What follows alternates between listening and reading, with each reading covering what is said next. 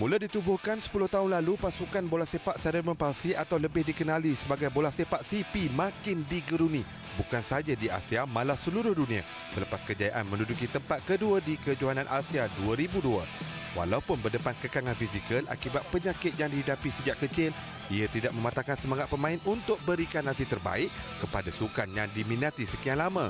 Sejak ditubuhkan pada 2009, penampilan Temasya Antarabangsa pertama Malaysia bagaimanapun hanya direalisasikan lima tahun selepas itu. Pada penampilan pertama di Sukan Para ASEAN 2014, ketika Naypyidaw Myanmar menjadi tuan rumah, skuad bola sepak sipil Malaysia sekadar menamatkan saingan di tempat keempat dan keputusan sama turut dilakar pada edisi 2015 di Singapura. Momentum bola sepak sipil Malaysia terus meningkat ketika Kuala Lumpur menjadi tuan rumah edisi 2017 apabila menyumbang pingat gangsa.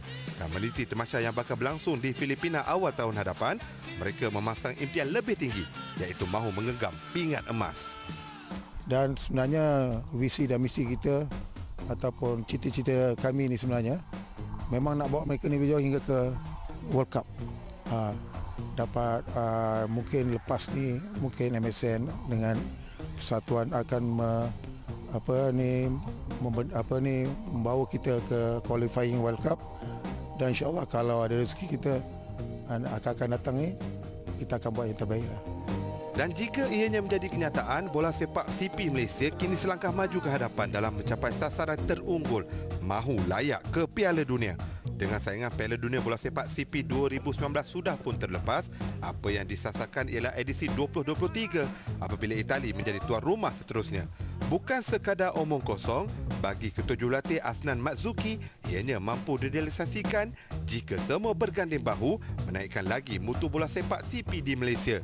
Antaranya menumbuhkan liga tempatan mirip Liga Malaysia seperti Liga Super sekaligus mampu melahirkan bakat-bakat berkualiti dari setiap negeri yang bertanding. Dalam pada itu, Ketua Pasukan Muhammad Sopi Ghazali turut senada mengharapkan misi ke Piala Dunia tercapai. Namun dengan syarat wajib atasi cabaran Thailand dalam saingan sukan para ASEAN yang membuka tirainya 18 hingga 25 Januari tahun hadapan. InsyaAllah kami akan cuba buat yang terbaik bagi mana dengan main bakat-bakat baru dengan yang lama mungkin insyaAllah boleh capai sasaran kot kalau boleh tidak jumpa jumpa Thailand lah. Ah. Ni balas rekod lama dengan kalah tipis yang lepas. Sukan para ASEAN menjadi misi terpenting skuad bola sepak CP negara dalam melihat keberkesanan program yang direncana sebelum ke Piala Dunia.